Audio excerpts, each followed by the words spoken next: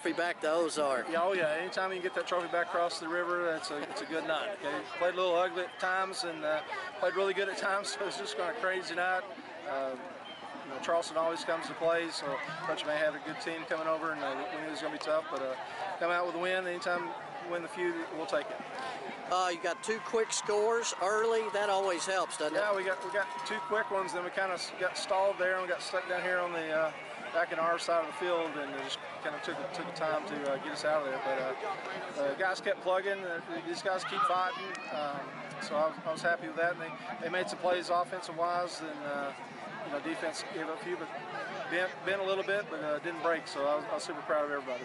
Well, in that defense, you know, they came back, made it a one-score game, and, and made some defensive plays. Yeah, de- definitely so. So we have, I think what we have interception, MJ got right, and then uh, but I'll take those guys. You know, they've been playing hard and they get better. So uh, it was a good good win for us.